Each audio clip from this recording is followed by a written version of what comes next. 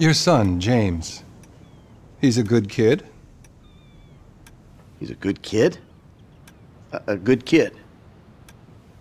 Why? Does he help the fucking poor? No. He sits on his ass all day, smoking dope and jerking off while he plays that fucking game. If that's our standard for goodness, no wonder this country's screwed.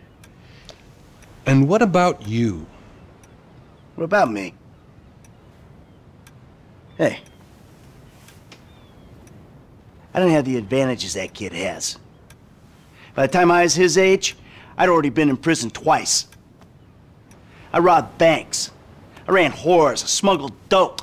And you consider them achievements? These were the opportunities I had. At least I took them. And where did these opportunities get you, Michael? They got me right fucking here. The end of the road. With a big house and a useless kid, and I'm stuck talking to you because no one else gives a shit. Oh, I'm living a dream, baby. And that dream is fucked. It is fucking fucked. Let it all out.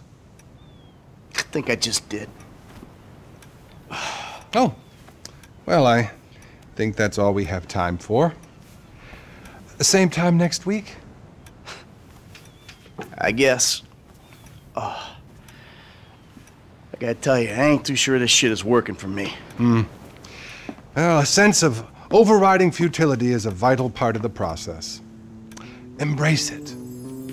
Whatever you say, Doc.